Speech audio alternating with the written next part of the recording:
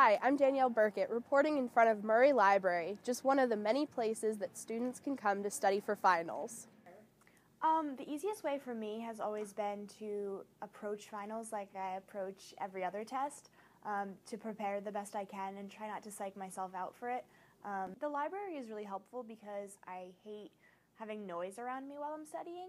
So the library is a really, really helpful place for me. Preparing for finals is usually a bit of an ordeal. Um, I'm a biology major, so we always have some lot, lots and lots of notes to go over for our finals. Um, I usually spend quite a long time looking over my notes. I usually do practice problems for chemistry in the book. Um, if it's not one of my more difficult finals, sometimes I don't do anything. Um, but that has never hurt me too badly in the past. Music um, majors, we have juries that like uh, your major final.